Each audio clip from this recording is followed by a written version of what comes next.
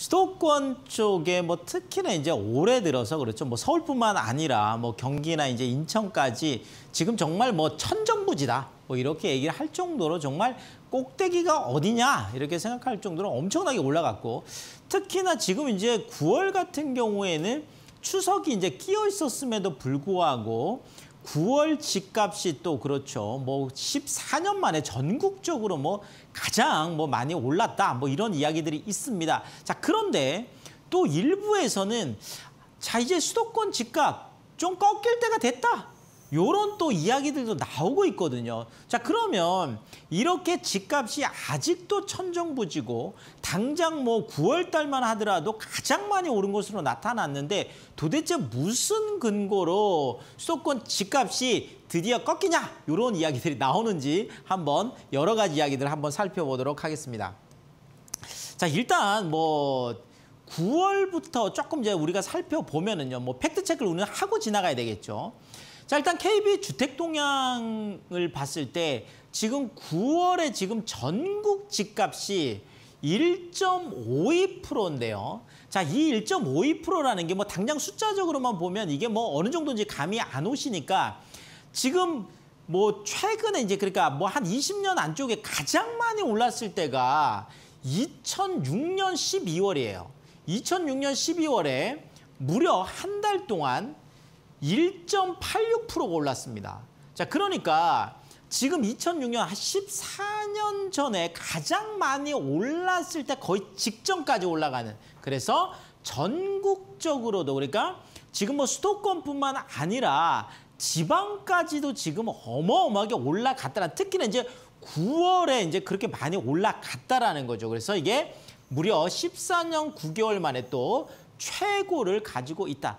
특히나 뭐 이제 전국 집값의 뭐 바로미터라고 할 수 있는 바로 이제 서울 집값 같은 경우에도 여전히 그렇죠. 여기도 뭐 1.52% 그래서 이것도 거의 전국 집값처럼 서울에서도 엄청나게 많이 올라가서 올 들은 이제 가장 높은데요. 자, 특히나 이제 서울 같은 경우에는 이 재개발 또 재건축 자, 특히나 지금 이제 뭐 거의 하반기 들어서면서 또 그리고 10월 지금 들어서면서 이 재개발하고 이제 재건축 이슈들이 굉장히 크게 나오고 있습니다. 그러니까 2021년은 뭐 3기 신도시라고 해서 지금 이제 경기와 인천 쪽에 많은 이제 공급에 대한 이슈들이 있고 또 GTX 관련 이슈들이 이제 크게 터지면서 서울보다는 상대적으로 얘기하는 거예요. 서울도 많이 올랐지만 상대적으로 경기와 인천 쪽이 많이 올랐다라고 한다면 지금 이제 10월 뭐 11월 12월 이제 끝으로 갈수록 오히려 지금 서울 쪽이 더 각광을 받고 있는데 그 이유가 바로 재개발하고 재건축 이슈다. 그러니까 지금 서울시는 서울시대로 이제 우리가 뭐 오세훈식 뉴타운이다. 제가 이런 표현도 썼었는데 지금 오세훈 시장이 지금 뭐 도심 이제 공급을 많이 얘기를 하고 있고 그리고 또 최근 또 정부에서도 서울 도시만의 공급들을 많이 얘기하고 있는데 자 서울에는 지금 뭐 삼기 신도시나 이런 것처럼 이렇게 뭐 빈 땅이 없어요. 자 그러다 보니까 결국 유일하게 공급할 수 있는 방법들이 재개발하고 재건축밖에 없다 보니까 당연히 지금 재개발, 재건축 이슈가 되고 있고 특히나 이제 뭐 대선 국면에 접어들면서 또 뭐 내일 또 지방선거까지 있잖아요. 그러다 보니까 계속 이 부분이 주목을 받고 있고 이것이 또 가격을 견인하고 있다. 자 그런데 다행스러운 건 전세 쪽은 조금 주춤한 모습을 보이고 있습니다. 자, 지금 그렇죠. 0.96%로 1%대 넘어서던 게 지금 1% 이하로 지금 떨어졌다라는 게 조금 유의미하게 볼 수 있겠고 자, 이것이 뭐 전국뿐만 아니라 수도권 쪽에서도 지금 소폭 하락하는 모습들이 있다. 자, 그렇지만 하락이라고 해서 이게 전세가가 떨어진다는 의미는 아니에요. 상승폭 자체가 조금 줄어든다는 의미니까 여전히 상승 랠리는 하고 있다. 이렇게 좀 정리를 해드리겠습니다. 자 그리고 자 그러면 수도권 집값이 과연 이게 떨어질 거냐 지금 변곡점에 와 있느냐 지금 이 얘기인데요. 자 지금 뭐 수도권 집값이 하락하기를 가장 바라는 어떤 입장이 있다라면 정부의 입장이 되겠죠. 그래서 지금 이제 정부에서 계속 이야기하고 있는 것들은 자 봐라. 금리 인상 그렇죠. 그다음에 대출 강화 이미 지금 시중에서 대출 강화에 대한 이야기들이 많이 나오고 있잖아요. 자 그러다 보니까 지금 바로 이 수요 측면 집을 사고 싶어 하는 분들이 많이 있긴 있지만 결국 금리가 인상되고 대출을 안 해주면 뭐 돈줄을 잰다는 거잖아요. 자, 돈줄을 재면 사고 싶어 하는 사람들이 더 이상 살 수 없는 수요가 위축되기 때문에 결국 변화 요인이 이제 발생했다. 그러니까 가격이 하락할 수 있는 요인이 생겼다. 요렇게 이제 본다라는 거죠. 자, 그런데 요것을 또 뒷받침할 만한 것이 좀 설득력 있는 것이 또 지금요. 주택 가격을 이렇게 좀 점쳐보는 또 이렇게 예측을 해보는 그 선행지수가 있는데 그게 바로 매매 수급지수라는 게 있습니다. 자, 그러면 이것이 사고 싶은 사람이 많으냐, 팔고 싶은 사람이 많으냐 이걸 보여주는 건데요. 자, 100을 기준했을 때 100보다 아래쪽에 있으면 팔고 싶은 사람이 많은 거예요. 그럼 당연히 가격이 떨어지겠죠. 자, 그렇지만 100을 넘어가면 여전히 사고 싶은 사람이 많기는 많은데 지금 서울만 하더라도 지금 그 매매 수급 지수가 107까지 갔던 게 104까지 떨어졌다가 최근에는 약 한 102.9, 한 103까지 떨어지는 이런 모습들. 그러니까 3주 연속 지금 매매 수급 지수가 하락하고 있다라는 게 이게 지금 나타나고 있다. 이거 시그널이다. 이렇게 보고 있는 거고요. 자, 경기 같은 경우에도 뭐 거의 110, 뭐 7, 뭐 이렇게까지 갔던 것도 115까지 갔던 게 지금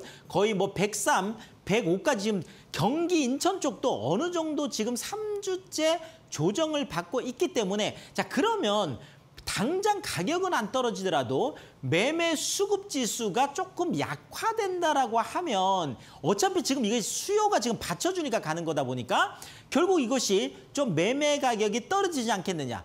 또 그리고 지금 가격 상승폭 자체도 지금 뭐 주간 상승률로 봤을 때 거의 0.4%까지 거의 최고치까지 갔던 게 지금 뭐 0.36, 0.34까지 물론 뭐 0.3이라는 건 어마어마한 수치예요. 주간 상승률요.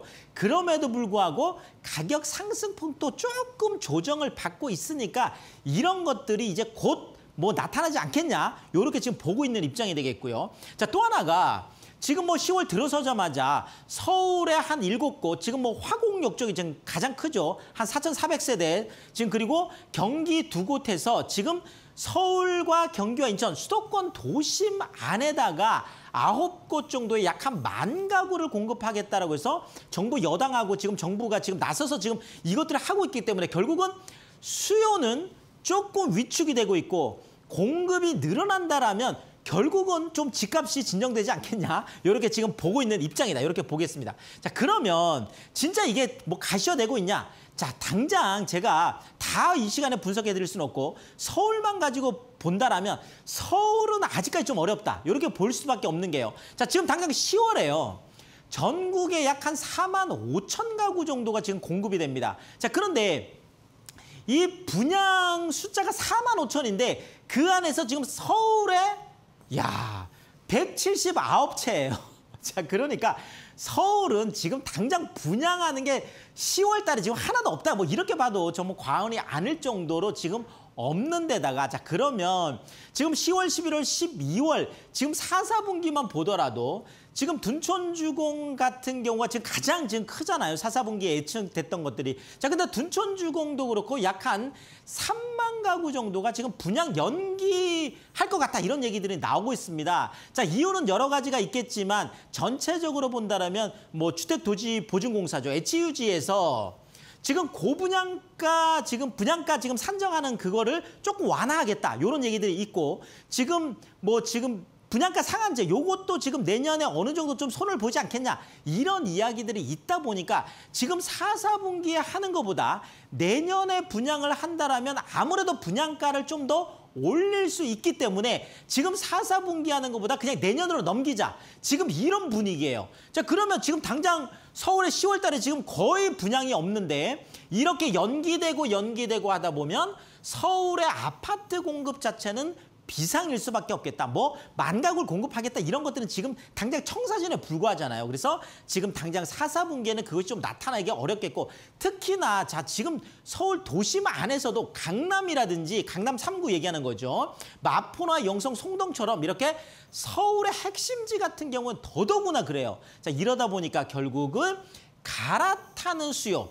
결국 경기나 인천 쪽에서 어느 정도 하락의 시그널들이 조금만 보인다라고 하면 이분들이 그것을 차익을 실현하고 오히려 서울 핵심지로 갈아타는 수요가 또 많아진다라면 서울은 또 상대적으로 또 올라갈 수밖에 없는 이런 일들이 나타나겠고 지금 더더구나 이런 서울 핵심지 안에서 아파트 가격이 지금 너무 많이 올라 있다 보니까 그렇죠. 그렇다면 핵심지 안에 있는 아파트가 아니라도 괜찮다. 뭐 빌라라든지 아니면 도시형 주택이라든지 아니면 뭐 오피스텔 같은 이런 틈새 시장, 대체 주택 시장들까지도 꿈틀꿈틀 할 수 있겠다라는 거죠. 자, 결국 지금 10월, 11월, 12월 요 3개월 정도를 일단 구체적인 시그널들을 봐야지 지금 올 4, 4분기에 어느 정도 조정이 받을 거냐 안 받을 거냐. 왜냐하면 지금 9월 수치만 볼 수밖에 없는 게 지금 이거 추석에 끼어있기 때문에 그렇거든요. 자 그러면 10월 들어서 다시 살아난다 그러면 또 이것이 또 걷잡을 수 없는 이런 것들이 있기 때문에 아직 섣불리 판단하기엔 조금 어렵겠고 앞으로 두 주, 세 주 정도 좀 더 보고 판단할 필요가 있겠다. 이렇게 결론을 내드리겠습니다.